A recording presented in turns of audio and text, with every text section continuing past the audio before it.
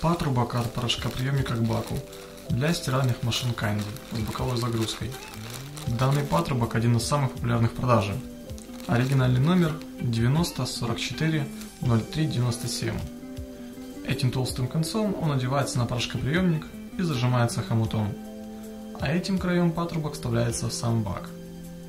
Также на патрубке есть гармошка, которая дает возможность баку свободно двигаться относительно порошкоприемника, и также у нас есть небольшая петелька. В эту петельку у нас продвигается трубочка ресостата.